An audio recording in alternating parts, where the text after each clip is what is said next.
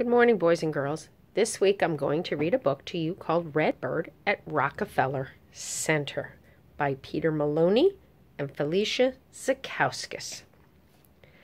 This was a book signed and given to my son from the authors.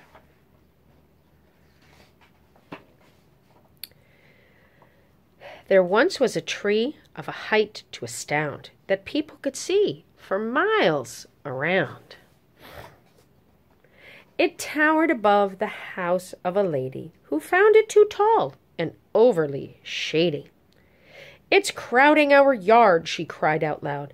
There's only one way it could make us all proud. Rockefeller Center could use a big spruce. Our tree would be perfect for their Christmas use. Katy tried her best to change her mom's mind. To chop down this tree would be very unkind. There's chirping and tweeting and whistling within. I'm sure there are birds living out on a limb. About such creatures I don't give a pittance. That tree is going, and I say good riddance. What do I care for a dumb bird or two? I'd rather have a beautiful view. The next day, a man in a truck pulled in front, and eyeing the tree, he let out a grunt.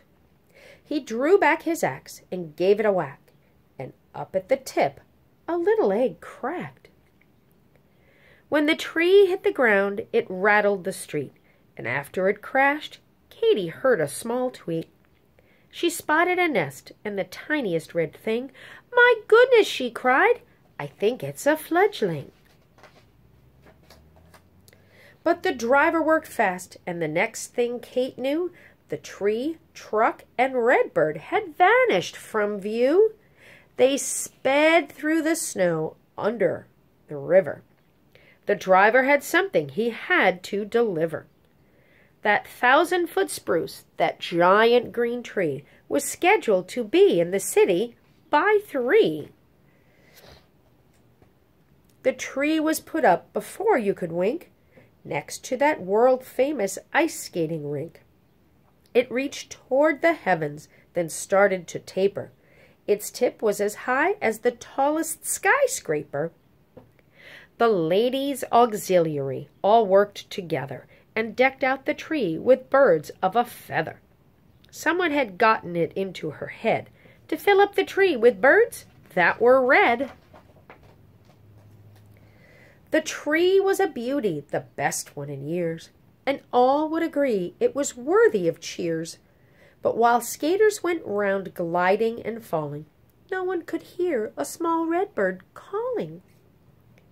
I say, come on, please, someone open your beak. A thousand red birds, and not one who will speak? Can't anyone help me? I'm so far from home. Why must you all make me feel so alone? but no bird responded. They weren't just bluffing. How could they speak? They were nothing but stuffing.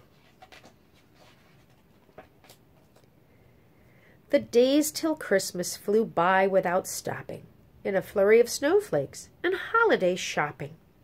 The seasons were joyous, the whole world seemed glad, except for two hearts that were sadder than sad. Let go of that tree, Kate. It's gone, and that's that. There's nothing to do, dear. It's not coming back. Why must you have these Christmas time blues? Good heavens, our tree was just shown on the news. Mother, believe me, there's life in that tree. I tell you, I'm certain. I heard a bird plea. I've got it. I'll prove it. I know what we'll do. We'll visit that tree up on Fifth Avenue. I'll show you those birds are not living at all. They're no more alive than a Christmas tree ball.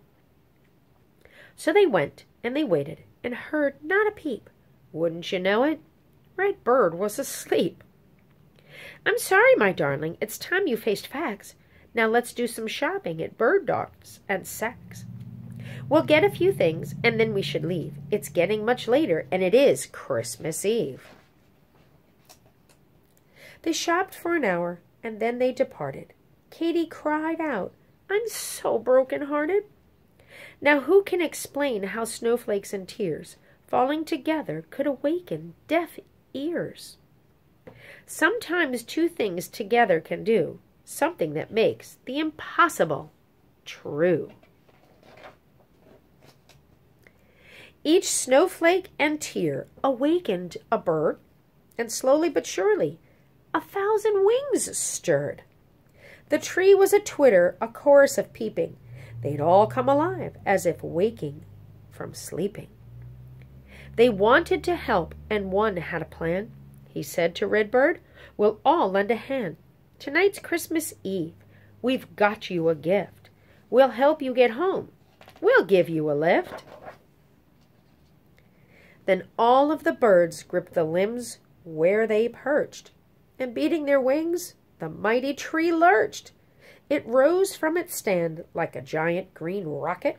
Thank goodness that no one had bothered to lock it. The tree weighed a ton, but flapping together, the birds all agreed it was light as a feather. Now that we're airborne and high in the sky, please tell us, Redbird, just where should we fly? I'm hearing a voice inside of my head. I think it's a prayer being said in a bed. And though I can't give a street name or address, let's follow that voice. Let's keep flying west. So while mothers and fathers and children all snored, one thousand red birds flew westward and soared. The tree crossed the sky, then made a soft landing in the very same spot where it used to be standing. When Katy awoke at quarter past dawn, there was more than fresh snow out there on the lawn. Where once had been a sad vacancy, now again stood Katy's favorite old tree. Mother, come quickly, get out of your bed. We've got a few guests who will have to be fed. Her mother blinked twice, then swallowed real hard.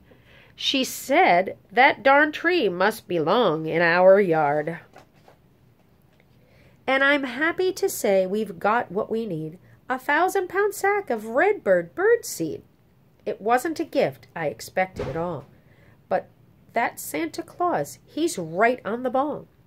Their Christmas was joyous, and Kate summed it up while sipping eggnog from her favorite cup.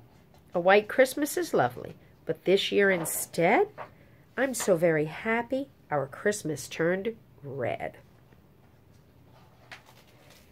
And that's the story Redbird at Rockefeller Center.